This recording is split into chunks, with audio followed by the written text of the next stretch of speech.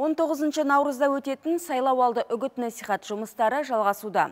Ақжол демократиялық партиясының кандидаттары Алматы қаласының тұрғындарымен кезесті.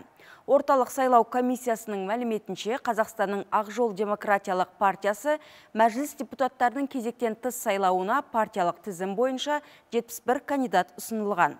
Партиялық тізімге енгізілген барлық кандидат Конституция және сайлау туралы Конституциялық заңның талаптарына сай келеді.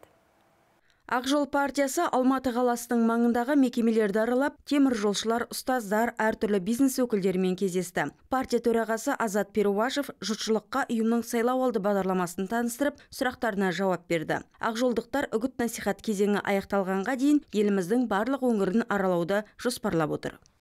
Біз бүгін міне Алматы локомотив депосына келдік.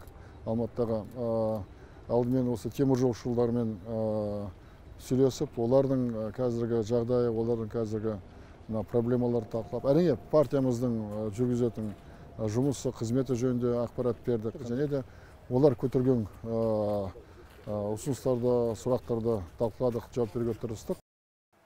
Ауыл халықтық демократиялық партиясы 2002 жылы ресми түрде тіркелген. Бірақ ешқашан мәжіліс құрамына енбеген. Партия жетекшісі Әли Бектаевтың айтуынша саяси партия осымен үшінші рет парламент сайлауына қатысады.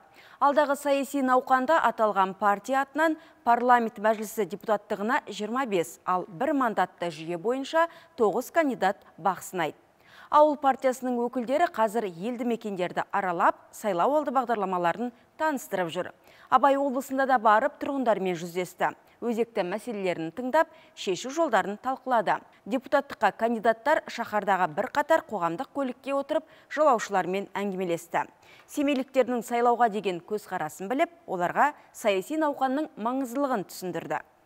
Сайлау мен үшін Қазақстанның экономикасын дамыту үшін маңызды және де жастарымыздың жарқын болашағы үшін маңызды ал енді бүгінгі күн таңда ауыл партиясының активисттарымен наклейкалар жабыстырып ішіндегі жолаушылармен сұхбаттасып ашық әңгіме жүргізудеміз бұндай саяси науқандарды өткізбеуге тырысамын және де өзім дауыс беремін Алдағы сайлаудың заңға сәйкес өтуіне әділ әрі ашық болуына қатаң бақылау жасалады.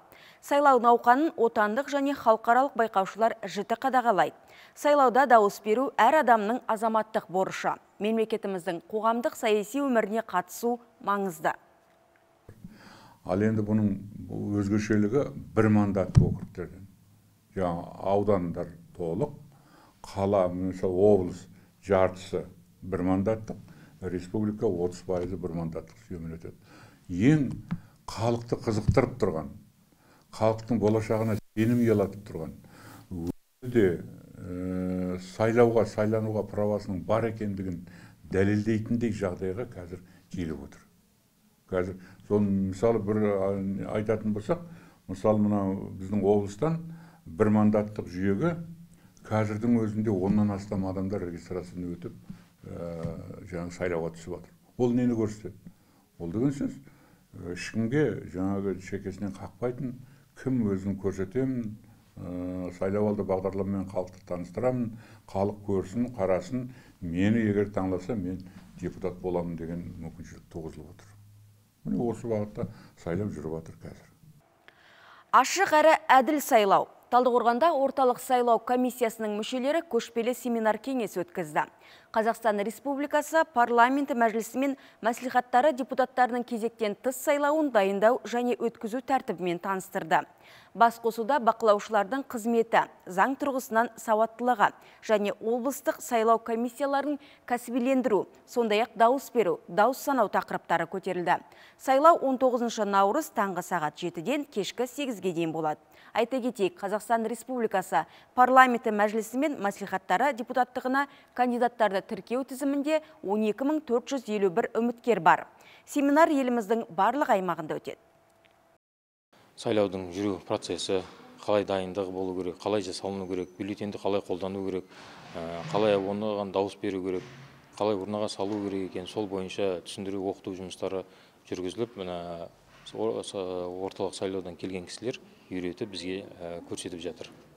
Әрине қазіргі уақытта сайлауға деген қарқынымыз жақсы жақсы көңіл күйде үйренетін заттарды үйреніп жатырық қазіргі уақытта Елімізде тұрып жатқан азаматтар жергілікті сайлау учаскісіне барып дауыс берсе, шетелде жүрген қазақстандықтар қалай дауыс береді? Дауыс беру үшін өзіңіз тұрған шет мемлекеттегі сайлау комиссиясының учаскісіне жүгінуіңіз керек. Шетелдегі сайлау учаскелерінің тізімі орталық сайлау комиссиясының сайтында жарияланған. Шетелдегі қазақстандықтар немесе дауыс беру күні өзге елде болатын азаматтар елшіліктер сайтына, телефон нөмірлері мен электронды поштасына мәліметтерін хабарлап, сайлаушылар тізіміне қосыла алады. Дауыс беру кезінде өзімен бірге Қазақстан Республикасы азаматының жарамды паспорты болуға қажет. Сайлауға қатысты ақпараттарды күнделікті жетісу телеарнасынан көре аласыздар. Бүгінге осы, сау болыңыздар.